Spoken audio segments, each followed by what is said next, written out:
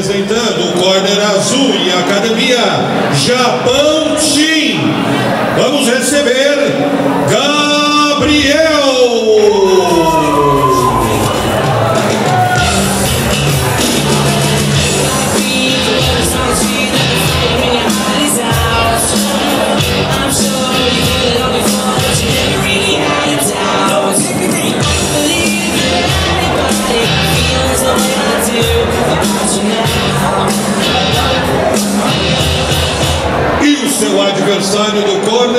vermelho, representando a academia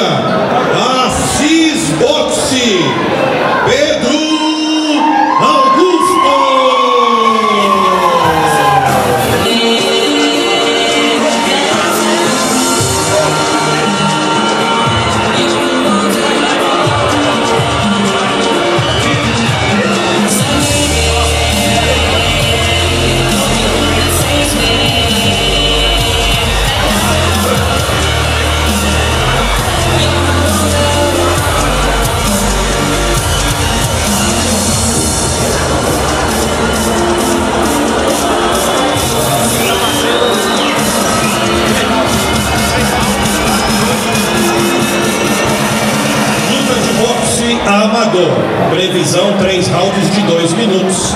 O árbitro responsável por esse combate será o mestre Fábio Lins. Boa luta!